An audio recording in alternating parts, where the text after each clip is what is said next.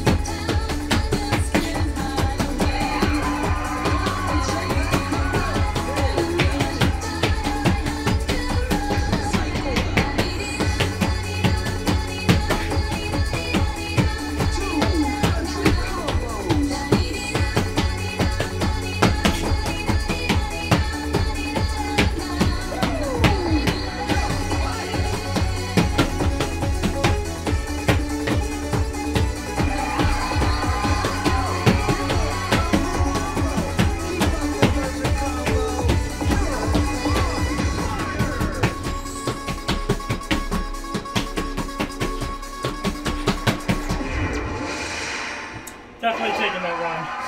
That was really good.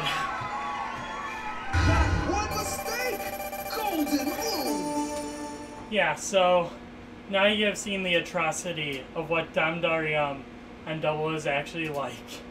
I don't think I've ever uploaded a video of the original Double Chart from Third Mix, but very, very similar at the very least. They definitely incorporate it into the newer Double Chart. And of course, this is an extended version, so even if it's an exact copy of the other Double Chart, there's an extended beginning to the song, so it counts as a different PFC.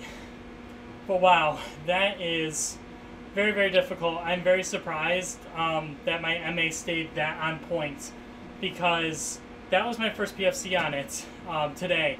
Usually I get a few PFCs and then like it just adds up to being better every single time. I'm not gonna be able to beat this one. There's no way. It that was just everything just matched up perfectly for some reason, and I was butchering the start of this song like every single time. And this had me getting like almost all marvelous at the start, and I was just like, well, I gotta mess up the the, the start of the song after the freeze notes, and when it gets into the strings where it goes like, do do do do or something like that. Yeah, but it didn't happen. I actually stayed on point almost throughout the entirety of that part.